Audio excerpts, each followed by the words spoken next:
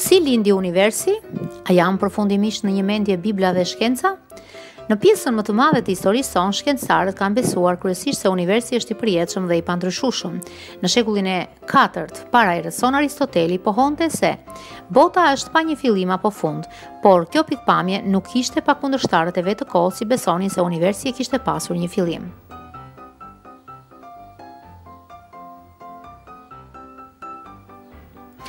Veprat e Aristotelit humbën për rreth 7 shekuj duke filluar të rishfaqeshin në shekullin e 8. Pikëpamja e përjetësisë e dominoi kryesisht shkencën deri në fillim të shekullit të 11. Pra, Mbizotëruese, ishte kjo pikëpamje që e çoi Albert Einsteinin të ndërtonte atë që ai e konsideronte si gabimin më të madh të karrierës së tij. Menjëherë pasi kishte zhvilluar teorinë e tij të përgjithshme të relativitetit rreth vitit 1915, matematikani rus Alexander Friedman zgjodhi zgjidhi ekuacionet e tij për gjithë universin, një version i hershëm i teorisë së Big Bangut, duke treguar se ato ekuacione nënkuptonin që universi po zgjerohej. Nëse ishte vërtet kështu, ai duhet të kishte qenë duke u zgjeruar nga diku në fillim dhe prandaj nuk mund të ishte i përjetshëm. Einsteini pastaj i modifikoi ekuacionet e tij për t'i bërë ato të tregonin që universi është statik dhe i përjetshëm. Në vitin 1929, Edwin Hubble, një astronom i Institutit të Teknologjisë në Kaliforni, zbuloi se universi është duke u zgjeruar.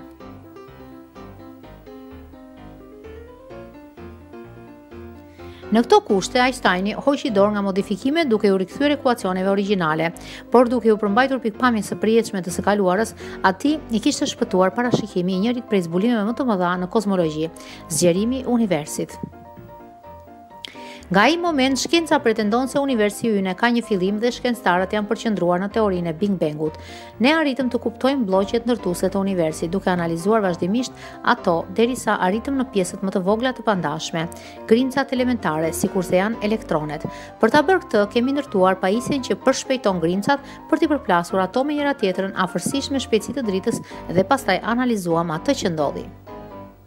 Grimcat e thërmuara jo vetëm që zbulojnë ato të reja, po u japin fizikanëve të dhëna se si bashkëveprojnë ato me njëra-tjetrën dhe nga ne dhe na sigurojnë informacion mbi forcat themelore dhe ligjet e natyrës. Në rastin e protonit kemi kuptuar se ai përbëhet nga tre kuark, të cilat ne besojmë se janë grimca elementare. Kohët e fundit në CERN, Organizata Evropiane për Hulumtime Bërthamore, u zbulua Higgs boson, një grimcë elementare që deri atëherë nuk ishte vetëm teorizuar. Kur shohim qiellin natën, ne nuk jemi duke parë vetëm yjet më vezullues dhe planetet me ngjyra të ndezura, por duke parë pas në kohë. Dritës i duhet një sasi e caktuar kohe për të udhëtuar deri në sytë tanë, edhe pse ne zakonisht nuk e vëmë re këtë. Drita udhëton me një shpejtësi prej rreth 300.000 kilometrash në sekond, kështu që kur shohim diellin, ne marrim dritën që ai lëshon rreth 8 minuta më pas. Kur shohim yje të tjera ose galaktika, e shohim dritën që ata kanë lëshuar ndoshta 5, 100 apo dhe 1 miliard vjet më parë. Pra kur shohim universin, është një lloj si të shihnim një fotografi të pjesëve të ndryshme në kohë të ndryshme. Toka duket sikur pikërisht tani dielli ashtu siç dukej para 8 minutave, qendra e galaktikës së Rrugës së Qumështit siç dukej 26.000 vjet më parë edhe kështu me radhë.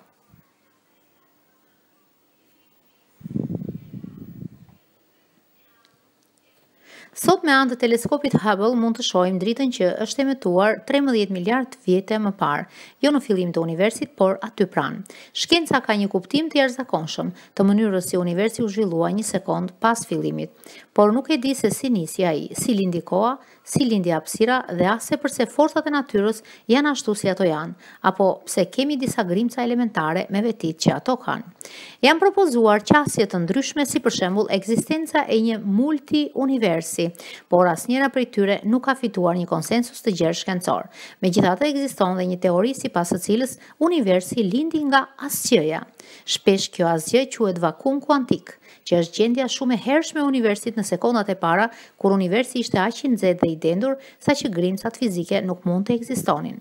Nëse e shqyrtojmë nga afër, Bibla na e tregon vërtet se si lindi universi. Në rreshtin e saj të parë, ajo thotë se universi lindi jashtë çdo lloj gjëje fizike. Fjala e përdorur në hebraisht është bara, që do të thotë krijim nga hiçi. Ex nihilo. Në Bibël asgjë fizike nuk do të thotë asgjë, pa kohë, hapësirë, forca të natyrës dhe pa grimca elementare. Sipas Zanafillës, në fillim Zoti krijoi nga asgjë fizike.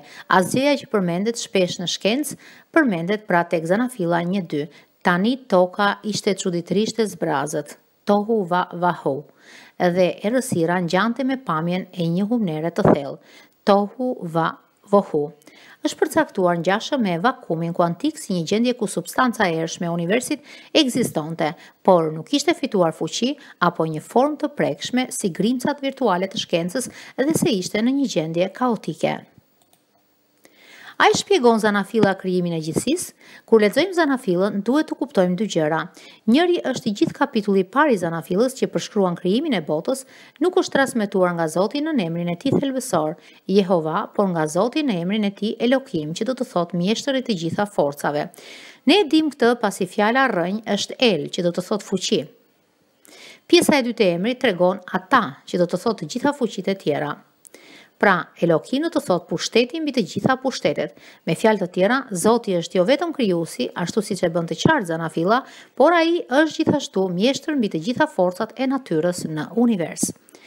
Pra, Zanafilla na tregon se Zoti zgjodhi të realizojë të gjithë krijimin e universit duke vepruar brenda natyrës. Sipas dëshmive biblike, Ai krijoi në fillim natyrën, dhe Ai mund të krijonte edhe universin në një mënyrë që do të dukej e mrekullueshme për ne, por përkundrazi, Ai qëndroi brenda ligjeve natyrore.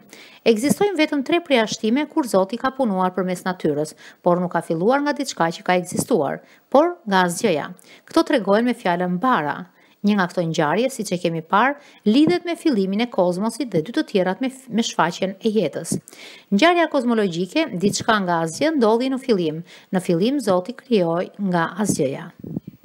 Dhe kjo ngjarje nuk mund të kuptohet me metodën shkencore, sepse sipas përkufizimit nuk merret me asgjë fizike. Shkurt, shkenca dhe Bibla Bien dakord se universi ka lindur përmes mjeteve natyrore, forcat e natyrës që veprojnë mbi grimca me kalimin e kohës, duke formuar kësisoj të gjitha strukturat që shohim, përfshirë diellin dhe planetin tonë.